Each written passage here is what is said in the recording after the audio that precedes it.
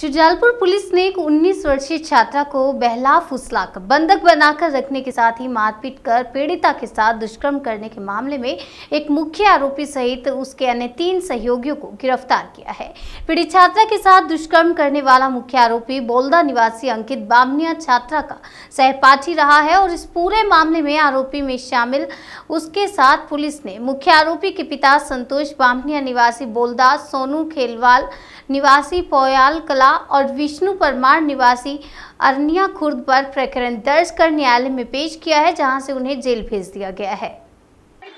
पीड़िता ने के विरुद्ध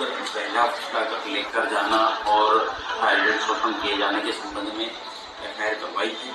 से पुलिस के द्वारा त्वरित कार्रवाई करते हुए चारों आरोपी अंकित बामनिया संतोष बामनिया सोनू छलवार और विष्णु परमार को आज गिरफ़्तार कर लिया है और माननीय न्यायालय पेश कर रहे हैं। लड़की को ये अंकित बामिया के द्वारा बहला दिखा कर लेके गए हैं और बाकी तीन लोगों के द्वारा उसका सहयोग कर लड़की को दो तीन दिन तक परिरुद्ध रखा गया है और एक आरोपी के द्वारा उसका शारीरिक शोषण किया है।